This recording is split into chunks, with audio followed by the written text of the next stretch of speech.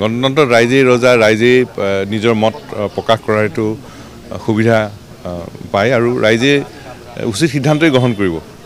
আৰু আমি আশা কৰিম যে এইখন অসম আমাৰ অসম হৈ থাকক। ইয়াত খিলঞ্জীয়া মানুহৰ প্ৰভুত্বৰ নিয়ন্ত্ৰণ নিশ্চিতভাৱে পাব পৰা পৰিৱেশ আহক। এতিয়া ৰাতিপুৱাই বৰষুণৰ মাজতোতো ৰাইজ ওলাই আহিছে। এইটো অত্যন্ত ইতিবাচক কথা।